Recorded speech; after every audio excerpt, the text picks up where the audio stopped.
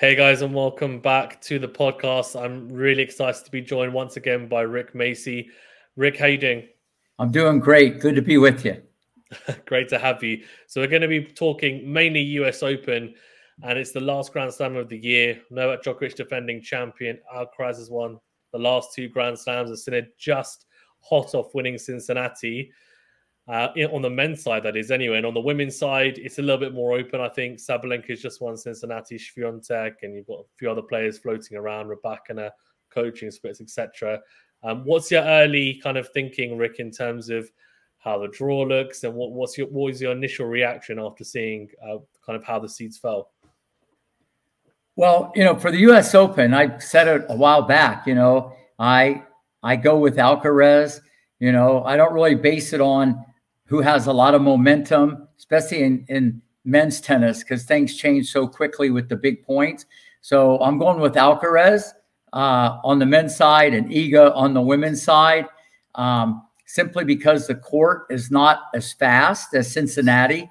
The score is a little quicker, favored Sabalenka. I think the general public doesn't realize how the surface subtly, you know, creates all these nuances for the players Okay. Um, maybe it's a little more complicated because of the grip. They're late a little bit. They make more errors. The other person gets more motivated. You get you then you start overplaying.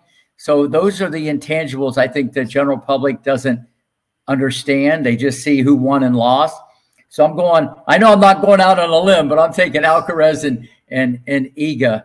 Uh, but listen, I think this year it's the U.S wide open. You know, I think it's the U.S. wide open. I think anybody uh, could win that thing. Uh, three out of five. It becomes more of a mental battle.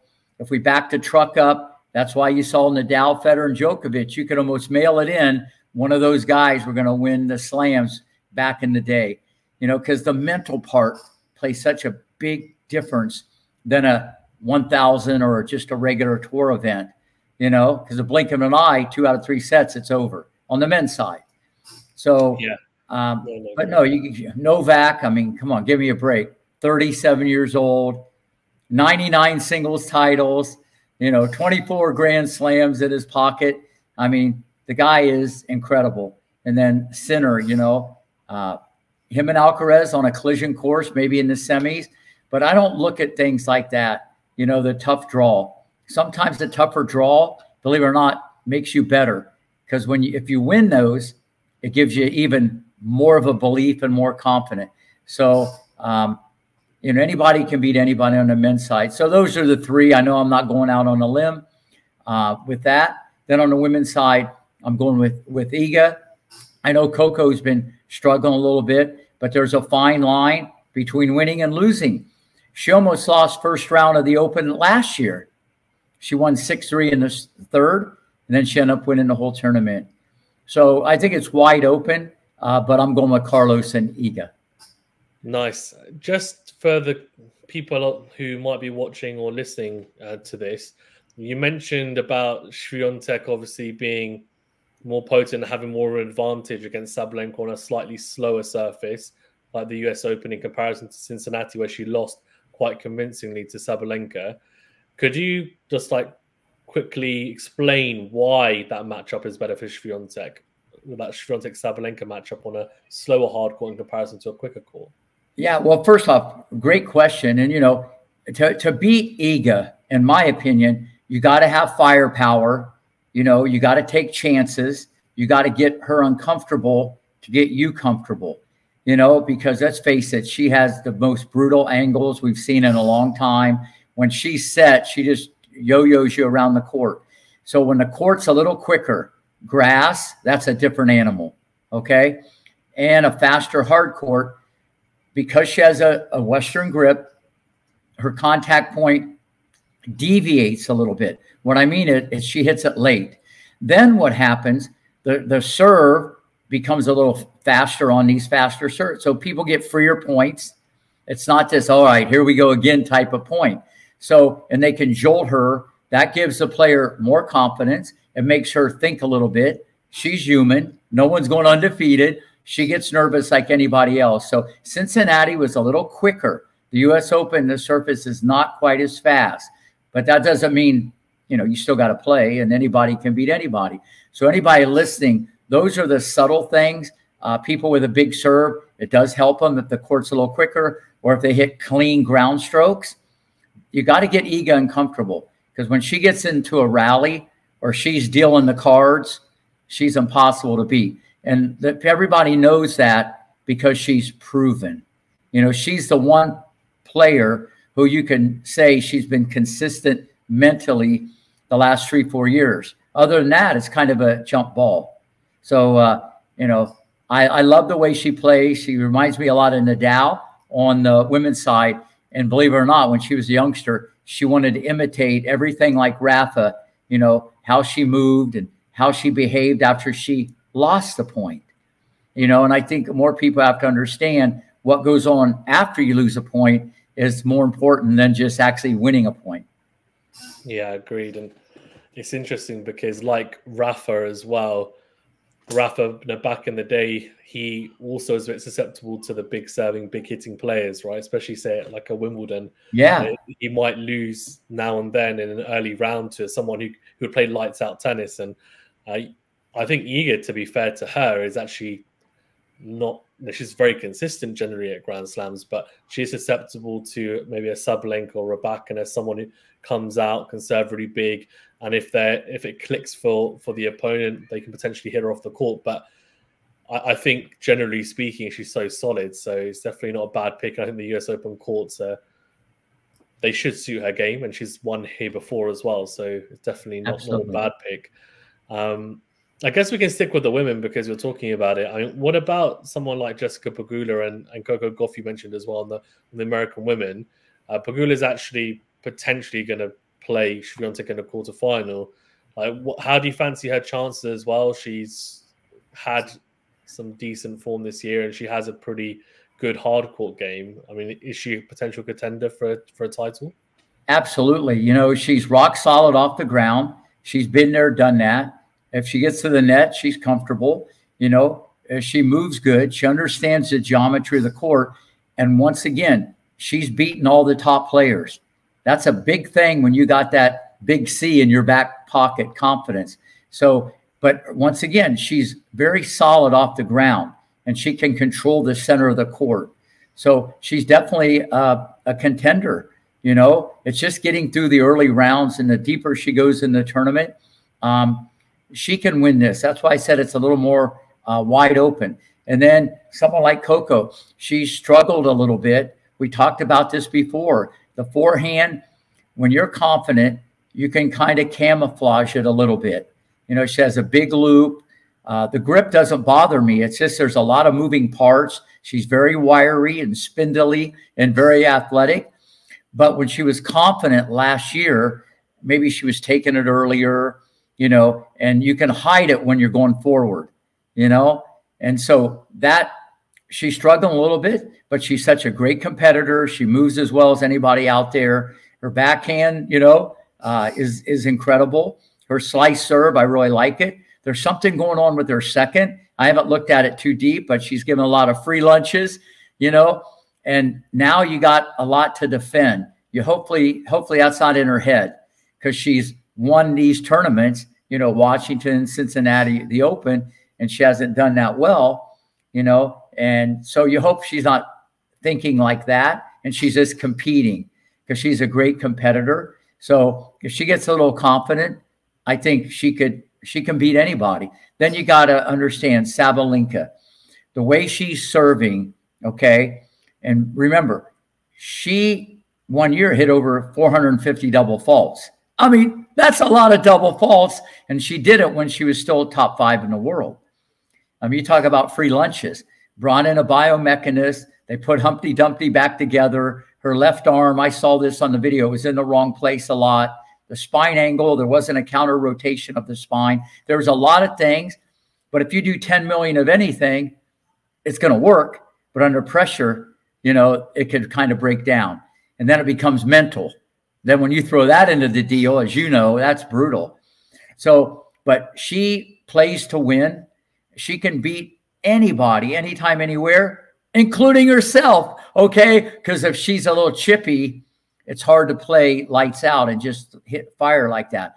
But she's definitely one of the contenders, and everybody's going to be thinking that because she just beat Iga. But trust me, the surface comes into play a little bit. Uh, but she did get to the finals last year and won the first set off of Coco. Uh, but she has the game because what I like about her game, off both sides, she's elite. She's an elite ball striker off both sides and her serve. So she's dealing the cards in all these matches. So it's mostly played under her terms. And the only way it's not is if she gets a little chippy or upset, which she can, and she checks out at Publix, she could check out, or someone else has the firepower to go toe to toe a few shots with her. So it, it, depends on the draw, but she would be one of them. Um, there's a lot of Americans. There's five Americans, uh, the men and the women, the more in the top 20 in the last 20 years. This is amazing. I mean, they're not near the top, but there's a cluster of them. You got Gauff, you got Pegula, okay. Um, you got Collins, you got Keys, okay. You got all these girls in there, uh, and they're all capable. You know, they're all capable. And you know as well as I do, if someone gets upset, you know, if Iga gets knocked out, a lot of people feel good about that. Or if Alcaraz Sinner or Joker, Joker exit states left, people start thinking, why not me? You know, and that's what they used to think about Nadal, Federer, and Djokovic, but they never lost in these tournaments, it seemed like, you know.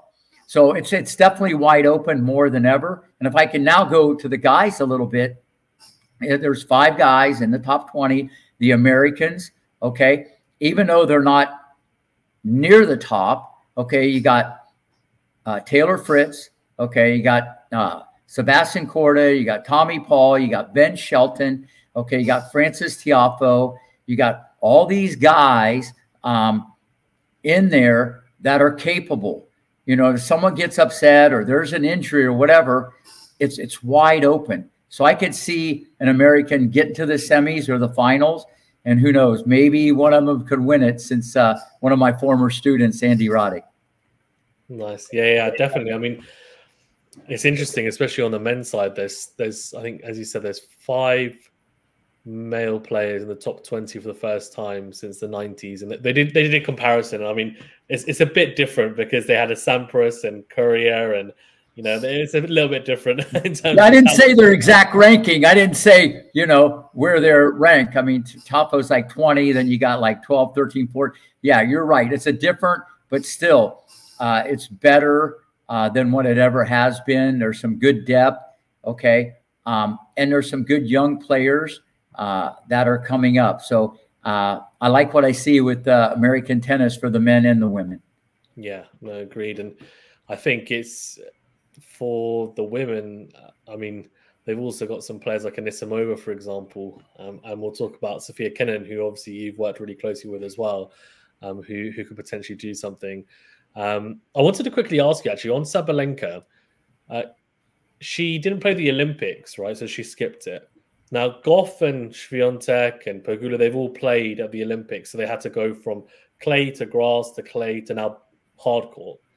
How much of an advantage is it for Sabalenka to miss the Olympics and have a bit of hard court time before the US Open? Is it quite a substantial advantage, do you think? Or it doesn't matter too much? I mean, Swiatek's her draw, for example, Swiatek's draw is not particularly hard. So could she then feel herself into the draw and it and it will then level out, do you think? Like how, how do you view it as a coach? Well, I think it's all individual. You know, it's a choice. You know what you're signing up for. You know what you're getting into you know you're going to be traveling and the surfaces and stuff like that.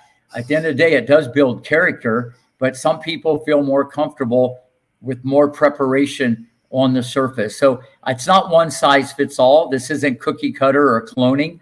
So uh, it obviously worked out for Sabalenka, you know, but also, like I said, the court was very quick and that was to her advantage. But I think to play in the Olympics, you know, a lot of players, if they get picked, uh, who knows what tomorrow brings, and it could be a once in a lifetime opportunity. And just the overall experience, uh, it's actually bigger than the game of tennis. You know, that's something, especially if they get a medal. That's something for your whole life. You know, where we look at it, or people in the media look at it, like why wouldn't they play or whatever, or why would they play? It's it's a great great honor. But the preparation to be on a surface for a longer period of time, it has to be, uh, you know, the leader in the clubhouse because you're going to get more confident.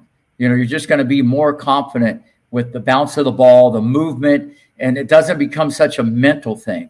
You know, when you start jumping from this to that, that's why you got to have your hats off to Rafa. You know, win winning on clay, then he goes and wins Wimbledon. That's a quick turnaround. That has you never saw Federer do that. You know what I'm saying? And now you see Alcaraz do that. That's crazy when you go from the slowest to the fastest. Because playing on grass, that's like a whole different surface. that's like a whole different sport. You know, you change your whole mindset, your tactics, and stuff like that. The mental part, everything changes. But uh, I think Sabalenka made the the right decision, and she's obviously beaming with confidence. Yeah, no, it's, it's an interesting one, and I guess it's right that it isn't one size fits all. And interesting to see now Swiatek, you know, does she just gather steam in the first few rounds? And obviously, she will be a little bit disappointed with the fact that she was a favorite for the gold medal at the Olympics, given it was on clay at Roland Garros, and she didn't manage to secure the gold.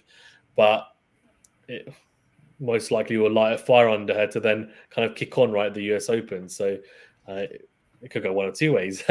I guess we'll, we'll see how she handles it mentally. But generally speaking, her mentality is, is very strong. So so strong. Expect some sort of deep run from her. No, no, she's listen. E, that's why Iga is where she's at, and everybody else uh, is a contender. But the favorite when she plays any tournament except Wimbledon is Iga because mentally she's proven time and time again you know what I'm saying? And that cuts both ways, not only to herself with a belief like no other, but to the other players. You know, it's not over until you shake hands with her. And she's proven that, you know, and that that's huge when you get out there and you're battling on that court.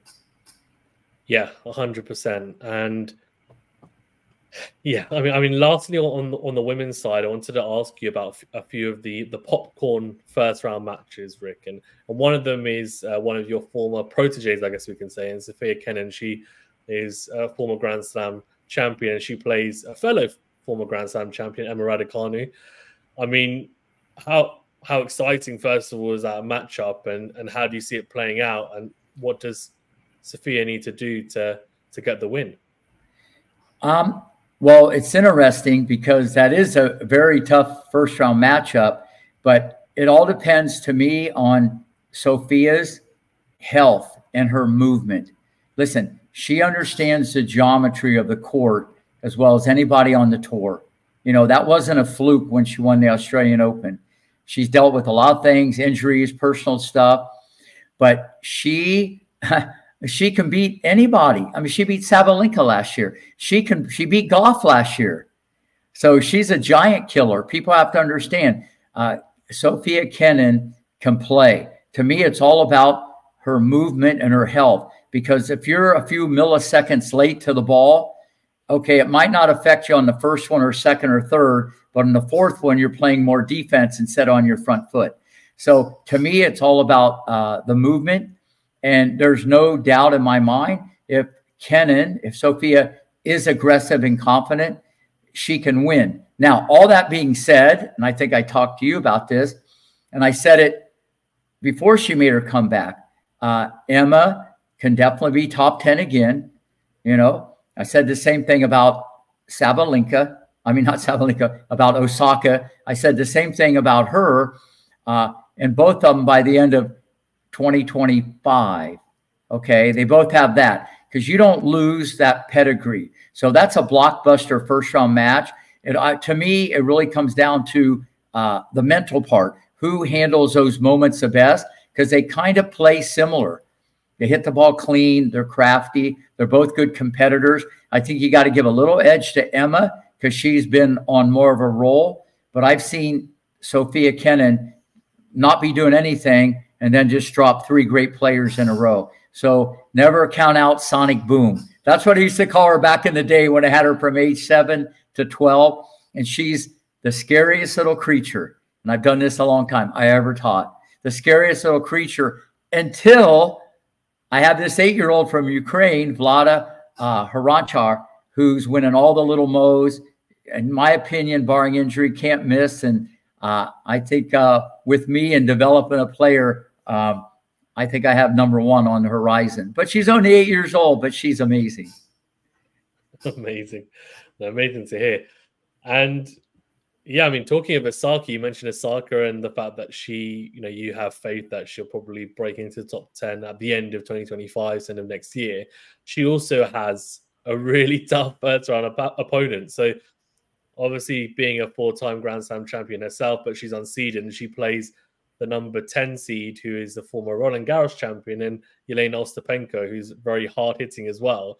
I mean, there's going to be a lot of winners, not a lot of running, I imagine, in that match. Right. Um, Rick, how do you see it playing out? Um, when who's playing who now? Who's that? Uh, is playing Ostapenko. Yeah, listen, uh, fasten your seatbelt because the point's going to be quick. And both their mentality, if you hit hard and miss, hit harder. I think that's their mentality. You know, I mean, let's face it, Osaka hit 60 winners, okay, against Iga on clay. You know what I'm saying? Uh, it'll be interesting because both of them, in my opinion, uh, when you're when they're getting dictated to, they're not quite as good, especially Ostapenko. So I'm going with Osaka because she plays a little better defense.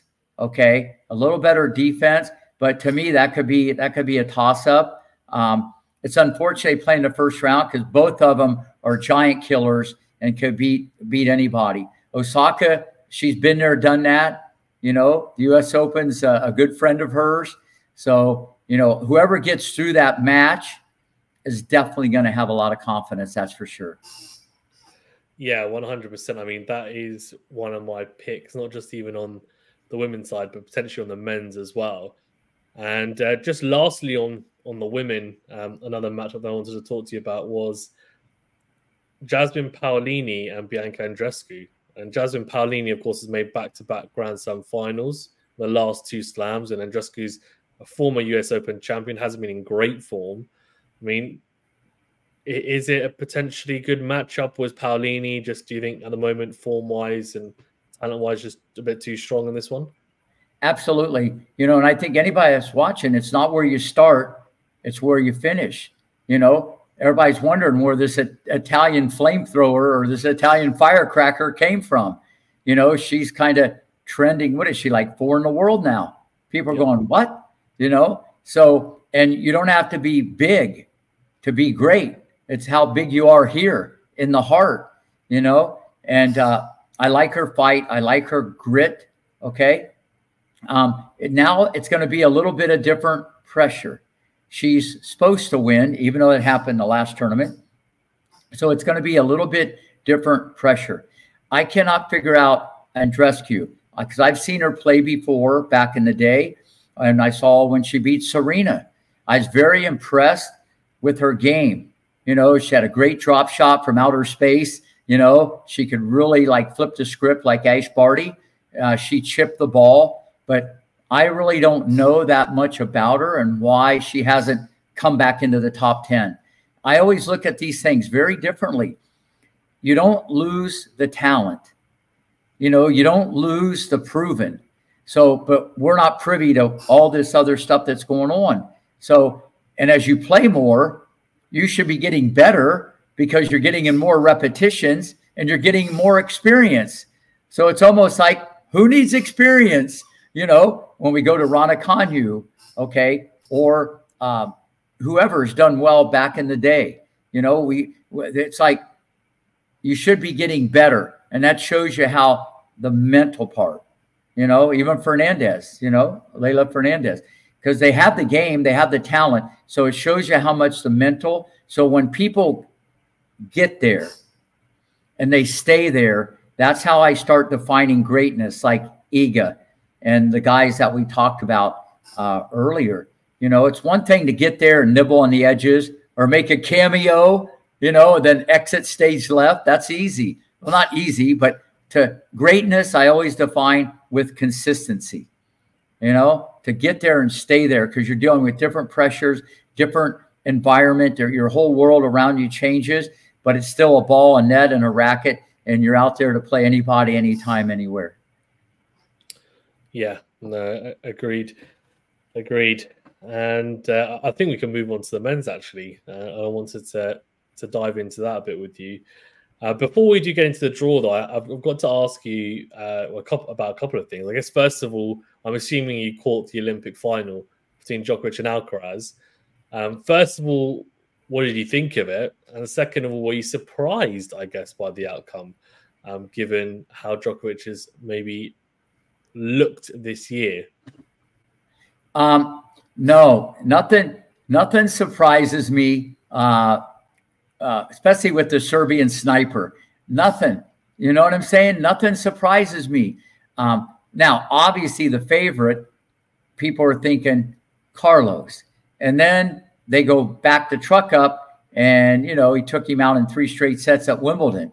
But people got to understand, you know, playing on your front yard is much different than playing in a sand pit.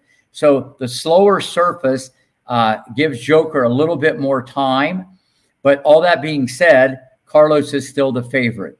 And remember, two out of three is very different than three out of five. The way you look at it, the way you feel pressure, the way you play points and stuff like that. You would see if that's that had been three out of five, both players think and play it differently. I know that I know you understand that, but a lot of people don't understand probably what I just said. You know, because they know it's a little bit more of a journey. But you got to give, uh, you know, the Serbian sniper all the credit. He's the goat. I mean, uh, he probably never wanted something so bad in his life. What with that guy, whatever in front of him at that moment, at that minute, at that second, that's the most important thing in his life. And he gave it his all. And you know, just a great match, a, a classic. But no, it didn't surprise me. Um, whatsoever. And if Carlos, uh, who you know I'm high on, if he doesn't win it, uh, the person I would like to see is Novak because what he's doing at 37 years old, and now you know, put a gold ball in there. I, the people they don't appreciate greatness. The numbers with this guy are eye popping. You know, 99 singles titles, you know, we talked about all the grand slams. I mean, brutal. And this is 37. Okay, this has never been done ever before, you know, and it's a testament to how he's wired mentally and the physical fitness part that he puts in. All we do is turn on the TV and you see this guy like the rubber band man, you know, and you don't understand the commitment and the motivation to want to get up and do it especially when one kid's in one arm and one kid's on the other, and daddy, let's go this, and daddy, do that. You, you got to have a lot of respect for this guy. So, uh, no, it didn't surprise me uh, uh, whatsoever. And uh, I think it just puts a cherry or takes it even further that he is the GOAT. Yeah, I mean, 100%. It just.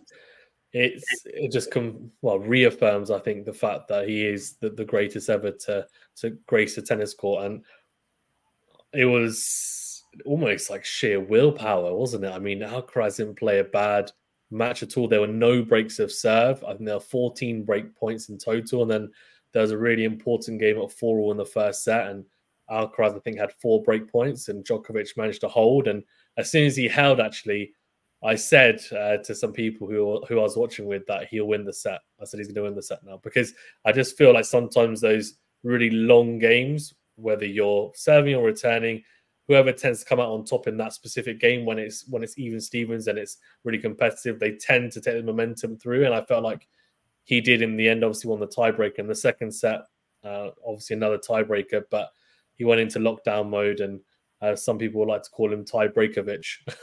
and I think he he channeled that uh, for sure.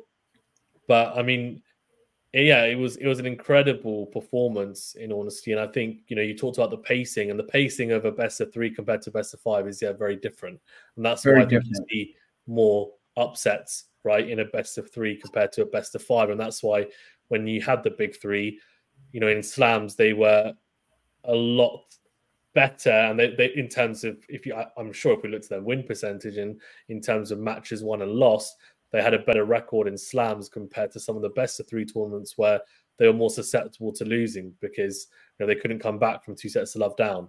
Uh, and we know how many times someone like Novak Djokovic in his prime did that, um, and even someone like a Federer and Nadal. So, yeah, I mean, an in- incredible effort from him.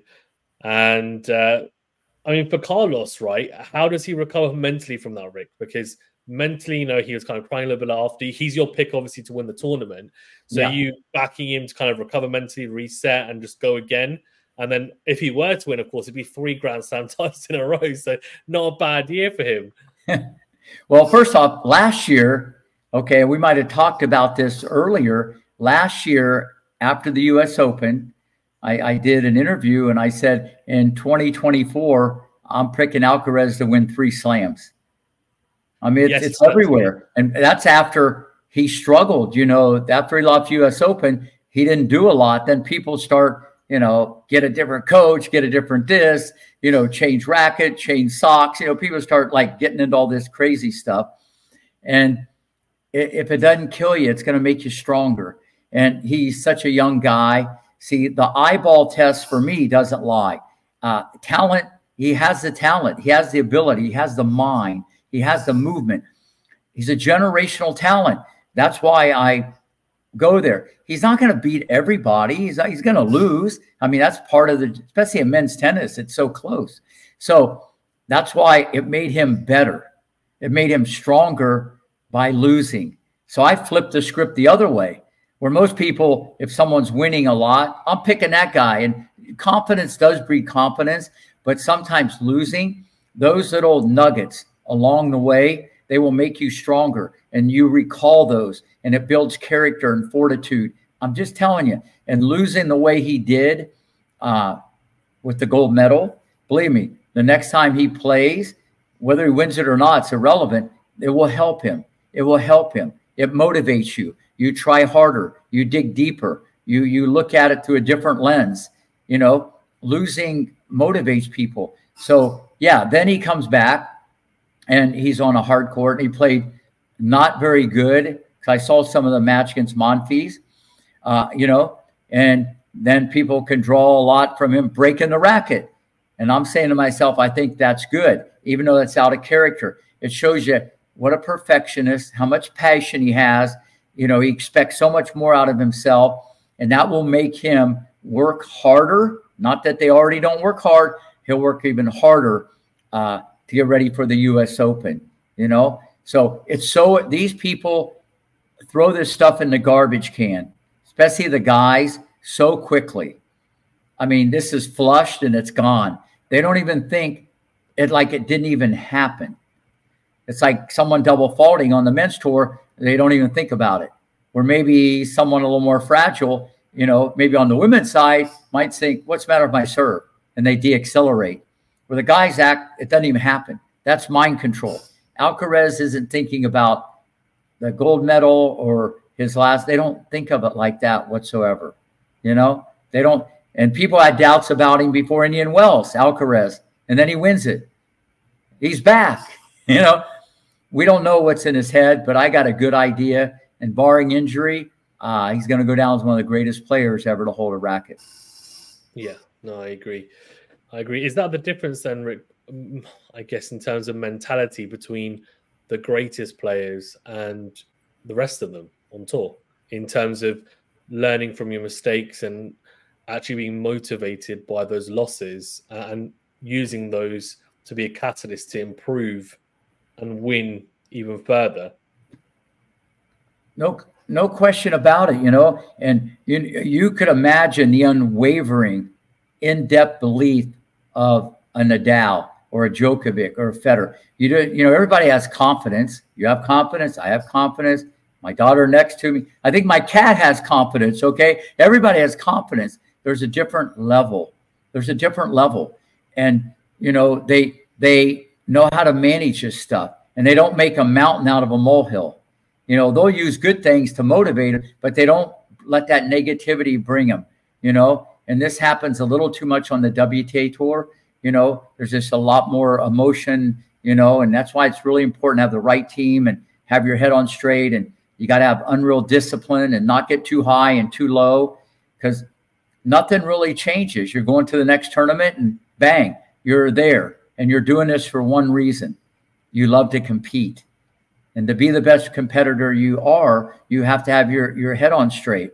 And so, no, he'll use all this to motivate himself, um, not just for the US Open, for his whole career. All these yesterdays or all these failures, this is what people don't understand. Um, Djokovic didn't start winning all these Grand Slams till a little later in his career. You know what I'm saying? This is like so important uh, that people understand all these failures and things that happen to you. It builds character. Um, and so I look at it as a, as a positive uh, as their career goes forward. Yeah, well said. And talking of, I guess, some of the great players at the moment on tour, Jannik Sinner is, of course, one of them, the world number one. Uh, what were your thoughts on his recent, I guess, testing positive for a couple of banned substances a few months ago? Uh, and it seems like he, I think he he's provisionally banned or suspended for a week. Um, but I think that was in between tournaments. And then he's been fined, of course, some money. Uh, but no no ban or anything, and it was a very small amount. I think it was a billionth of what was the, the measurement. But of course, there's been varying views, I guess, from people in a similar positions to yourself, current players, um, and just general fans as well. Some people thinking, "Yeah, fine, we're happy with what you know, the ITA have done." Others not so happy, um, and in fact, I guess the third category is people just maybe not blaming Sinner anyone else, but more being a bit frustrated with the fact that, that there is inconsistency with a lot of the cases that have been happening the last few years. I mean, what's your take on it as a coach as well? And uh, and what do you think, I guess, of the actual situation and generally how the ITA handled these these cases? Well, first off, um, you know, Eh, the players that criticize, let me go to that first. I understand where they're coming from because the top players, they're always going to feel they're treated different. They get better scheduling. You know what I mean? They get treated, they're listened to a lot more. Uh, they get uh, appearance money, you know, for a lot of the tournaments, but they do draw the biggest crowds and there's TV. So they are going to always think that they're getting better treatment. Okay. Because they are.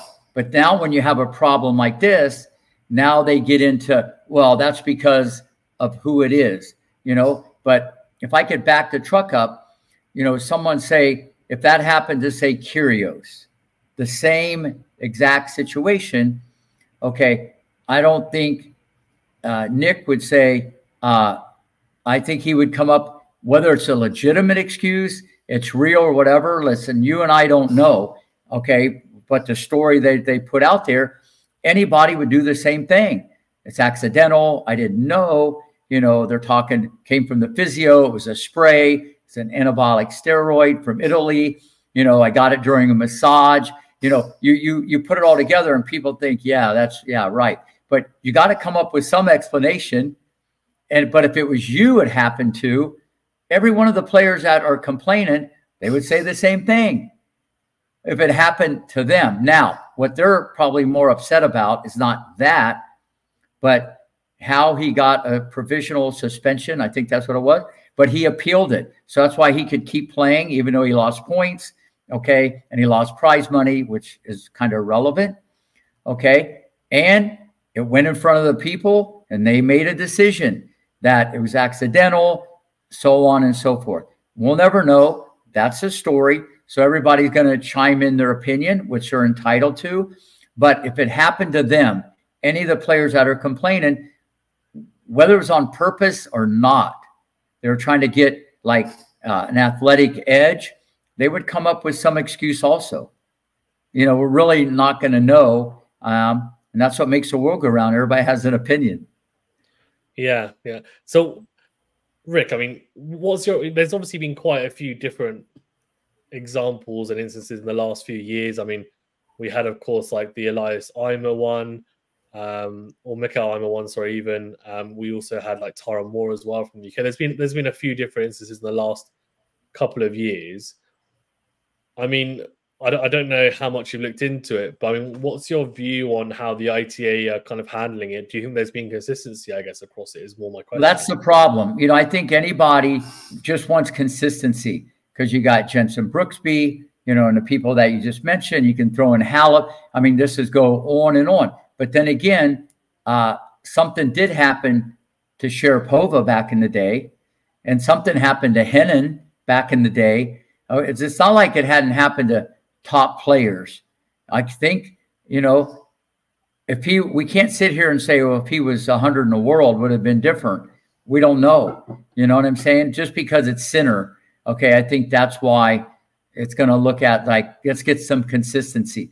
But they do need to, in my opinion, let it play out a little longer because some people that got suspended, uh, they didn't go at it the way he did and appeal it right away. I think that was their fault. And someone got suspended for like what two years or a year and a half. So they need yeah, to clean it up. Yeah, they need to clean it up because she didn't have the the legal. Um, she didn't have the money to basically. Correct. You're right, and that's kind of the way it is in the legal system, especially here in the United States. You know, sometimes you know the best lawyers uh, that you can afford, you know, kind of can help you.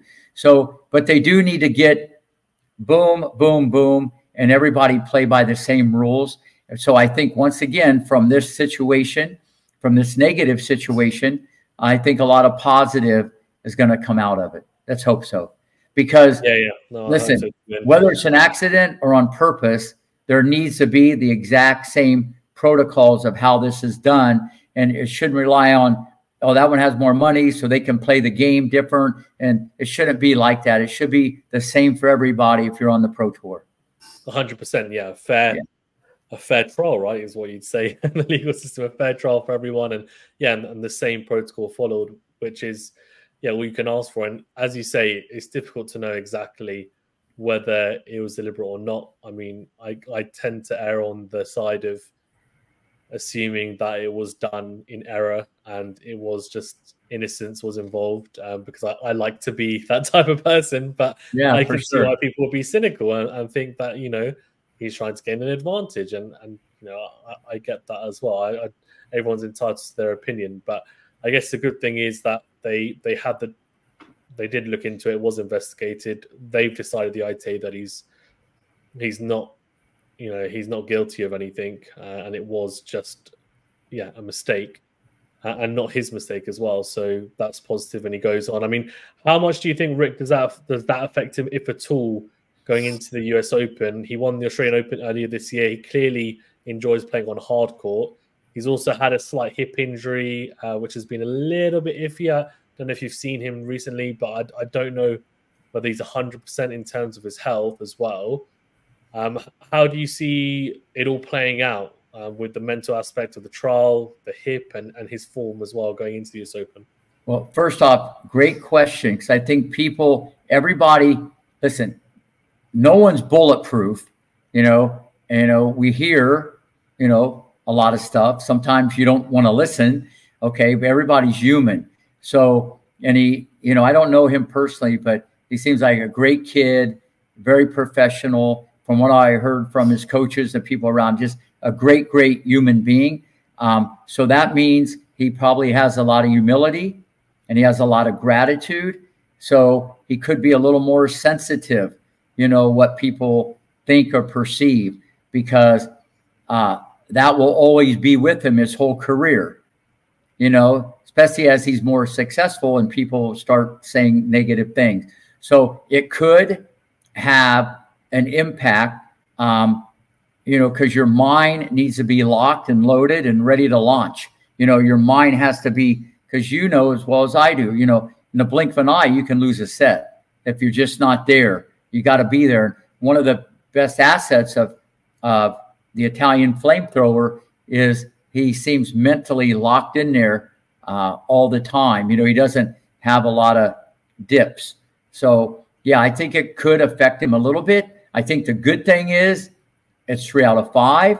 But then again, uh, you you said something that I saw, even though he won Cincinnati, there was a few Houdini escapes. There was a few matches he played dodgeball and he could have lost. Fine line between winning and losing. I think he won because uh, he's Sinner, but his movement. You know, I saw him a few milliseconds late in and out of the corners, like I didn't see when I've seen some of his matches with Carlos or other people. I mean, he was a jackrabbit on steroids, and he just looked, no pun intended, because we're talking doping here. No, jackrabbit on steroids. He he gets in and out of the corners. He just didn't look as nimble, and but no one could probably see that, you know. And like you said, he had a hit little thing with the hip, and you know he's a gangly guy, and he stretches a lot, like the Joker out wide. You know, uh, he gets he gets a, uh, in and out of the corners like a champion skier he was at age 11. So I saw a little different in the movement. And if the movement's a little different, whether it be from nerves, not that I'm saying it's that, whether it be from nerves or whatever, once the movement goes, it changes your balance, it changes your options. You know, are you on the front foot or the back foot? Are you playing with more spin, taking more chances? The movement is key for you know same with for Joker, you know. So that's what I saw. To me, he didn't look hundred percent, and here I am saying that, and he won Cincinnati because I just feel he's better than the rest of the field, except maybe Alcaraz, and on a given day, you know, Joker. I just think he's better. Okay, it's like we talked about Coco. I think she's better in all these other areas but the forehand brings her back down where she could be vulnerable. So, yeah, I hope it doesn't affect him. But unfortunately, that this has come out and it's the U.S. Open. And, you know, you asked me the question, it's going to be asked when I do all the other TV stuff. And it's going to be a major issue every time he wins a match or if he loses. They'll write about the story, but the steroids are going to be part of the story. Unfortunately, for this for this Grand Slam. Yeah, no, I, I agree, and I I'll probably be quite nice, and I only mentioned it in this video. To be honest, I actually haven't done any content on it at all because it's a weird one. I I did have some knowledge of what had happened, and obviously some other cases, but I didn't feel like I was as fully informed um, to kind of really give uh, an educated opinion on it. And I also didn't want to be too judgmental because it's difficult, as you say, it's, it's hard to know unless you're actually in the camp, like what's exactly happened. As it happened, who knows whether it's intentional or not. Um, so all you can say is that he's, yeah, he's been clear to play, and you know, hopefully it won't happen again. but, but it is an interesting, it is an interesting uh, scenario where the guy gets a cut on his hand. The one guy gives it to the physio, you know, and it's on his hand, and Sinner gets it through a mas- massage, and it shows up when he does the urine sample. You know, because people are now getting an in-depth uh, knowledge of how these things happen, and it's almost like abracadabra, give me a break. That's what people are going to be thinking, but that's how these things happen. You know, you could it could be in a food, it could be in meat, there's all kinds of ways uh, these things can happen. And like you said, he's been cleared. So uh, it's showtime in, in New York. Yeah, 100% showtime in New York. Exactly. And look, I mean, I'm hoping we get that Sinner Alcaraz semi final, which is projected to happen. And yeah, that, that'll be a, that'll be a blockbuster if we do get it. But he has a potential tricky opponent actually in Tommy Paul in round four, uh, which could be very physical, and that'll really test his hip, I think, as well um, to see whether he's really uh, fully fit or not, or fit enough anyway uh, to compete. On some of the other players who are maybe not in the favourites, because you know we know we are talking about Alcaraz, Djokovic, and also Sinner as well. There's kind of a rung below, you'd say maybe. Um, there's a few players that will be creeping, looking to kind of push in and potentially do something. And, and two of those players are Holger Rune and Stefanos Tsitsipas. Um, both of them, of course, have also had recent splits from coaches. Holger Rune with Patrick Mouratoglou, I think, for the second time in only a couple of years and Tsitsipas with well his dad, which is uh, always an interesting one. Um, but obviously, just as a coach, um, it looks like they might have already picked up potential coaches. But I wanted to get your thoughts on, in terms of, uh, well, I guess as a coach yourself, like how do you see their style of play, and then also what type of coach do you think would be most beneficial to get the most out of their game? First off, great question. You know, coaching at the pro level is very different. Okay. And uh, the, what I mean by that, it's not as much technical or it's not as much biomechanical. Okay. It's more strategic support, motivation, and you're like a manager. You know, that's what people have to understand. And I'm not saying they don't offer technical help, but it's not as much that. Okay. And it's all about getting them ready mentally and taking care of everything for them. And the personalities have to click. And so a lot of times you become almost one of their best friends instead of the coach. And that's what they want. But then when things don't go well, a lot of these people change coaches like they change socks, like you said, Rune, you know. So uh, it's all the personality uh, of the person, you know, and like Kyrgios, you know, no matter what anybody would try to do, the best coach for Nick Kyrgios is the guy in the mirror because that's the only guy he's going to listen to, you know. So maybe some people, when they're younger, they need someone that instills more discipline and to be more professional. And, you know, this is how you got to be. And, you know, uh, but you got to buy into that. But then when you start losing, they don't want someone that strict, you know. And some people on the tour, maybe on the women's tour, they want more of a travel buddy. You know, it, it's a very complicated uh, scenario. But that being said, eventually, if things are not going well for a long period of time, you got to figure out why they're not going well. But maybe a new voice, uh, and you, tr- you try a new voice the way someone says it, how they say it, say it, why to say it, when to say it. You know, there's an art to this of communicating with a player. You know, how I talk to the pros that I work with are much different than an eight year old or the number one 12 year old girl in Europe. So it's a very different communication that you got to do. And there's an art to this whole thing. But my opinion, more people should add biomechanists to their team if the player wants to reprogram some muscle memory or reprogram the reflexes because there's just a lot of flaws out there. The problem is they can't take the time off during the tour. Will the player want to put in the work like Sabalenka did on her serve, where she went from she didn't have a, a fault, double faults in the finals of Grand Slam at the Australian. Give me a break. That's amazing. Okay. So the team had enough knowledge that listen, we know what we don't know. We need to get someone in there. So I think it's better not to keep changing coaches all the time, but to add maybe people that have more expertise, whether it's in motivation or looking at the game differently, because people can get stale even with tactics. You know what I'm saying? And it happens in every sport, whether it be tennis, football, baseball, basketball. Sometimes a different voice and a different set of eyes can change the whole landscape because at the end of the day, it's it's about the player. It's always about the player. Uh, it's not about the coach, always. Yeah, no, agreed. And I guess from your point of view, then, because I asked you about these two players, as a coach, when you look at, say, let's take Tsitsipas for example. Look at who you when you see his game in terms of strengths and weaknesses and things. Who, whose game? in Tsitsipas? Okay.